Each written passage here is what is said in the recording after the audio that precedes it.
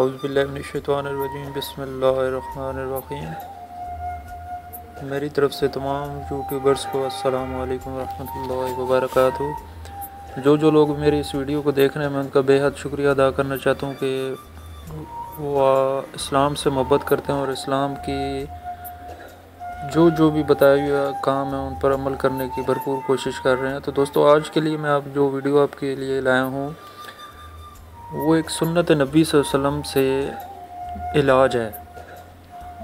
تو اس علاج کے بارے میں یہ مجھے بہت مفید ویڈیو لگی، میں نے اس لیے آپ کے لیے یہ بنانا چاہی تو آپ کی خدمت میں حاضر ہے کہ سنت نبی جو ہارٹ اٹیک کو دور رکھے، اس سے شوگر سے بچنا بھی آسان ہے۔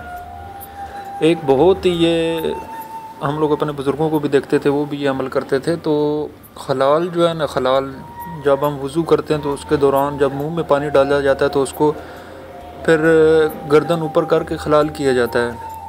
خلال کرنے کے بعد پھر وہ پانی جو ہے وہ بیسن میں گرا دیا جاتا ہے۔ تو خلال کرنا بھی سنت نبی صلی اللہ علیہ وسلم ہے۔ اور اس پر عمل کرنا آپ کو متعدد جان متعدد جان لیوا بیماریاں سے بچا سکتا ہے۔ یہ بات امریکہ میں ہونے والی ایک طبی تحقیق میں سامنے آئی۔ تحقیق کے مطابق یہ تو پہلے ہی ثابت ہو چکا تھا کہ مسوڑوں کے امراض ذیابیس امراض، قلب، خون کی شریانوں کے مسائل یا جوڑوں کے درد کا خطرہ بڑھاتے ہیں۔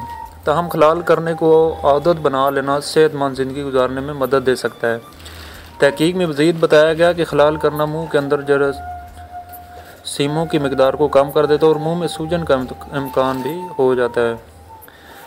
محققین کا کہنا تھا کہ جب مسوڑوں میں سوجن نہیں ہوگی تو ان سے خون نکلنے کا امکان بھی کم ہوگا۔ انہوں نے مزید کہا کہ منہ کی صحت برقرار رکھنا بیکٹیریا کو دور، بیکٹیریا کو دور خون میں جانے سے روکتا ہے اور اس طرح متعدد جان لیوا امراض سے تحفظ ملتا ہے۔ اسی طرح خلال نہ کرنا سائنس میں بو کا امکان بڑھاتا ہے، کیونکہ غذا کے ذرات دانتوں کے درمیان پھنس کر سانس میں بو بڑھانے والے بیکٹیریا کی تعداد بڑھاتے ہیں۔ اس سے پہلے امریکن ڈینٹل ایسوسی ایشن نے بھی اپنی ایک تحقیق میں بتایا تھا کہ درمیانی عمر میں لوگوں کو دانتوں کے مسائل کا سامنا اس لیے ہوتا ہے کیونکہ وہ خلال نہیں کرتے۔ امریکن ڈینٹل ایسوسی ایشن کے مطابق دن میں کم از کم ایک دانتوں کا خلال کرنے سے دانتوں کے اس درمیان خلا میں بیکٹیریا کو ہٹانے میں مدد ملتی ہے۔ جہاں ٹوپید برش بھی نہیں پہنچ سکتا۔ تو دوستو، یہ سنت نبی صلی اللہ علیہ وآلہ وسلم تھی جو کہ خلال ہے۔ اور اس کا کرنا ہم سب پر ضروری ہے۔ آپ سنت سمجھ کے اس کو کریں گے تو آپ کو اس سے دنیاوی فوائد بھی بہت حاصل ہوں گے اور انشاءاللہ دینی فوائد بھی بہت حاصل ہوں گے۔ تو میری مزید ویڈیو کو دیکھنے کے لیے میرے چینل کو سبسکرائب کریں اور لائک کریں۔ السلام علیکم ورحمۃ اللہ وبرکاتہ۔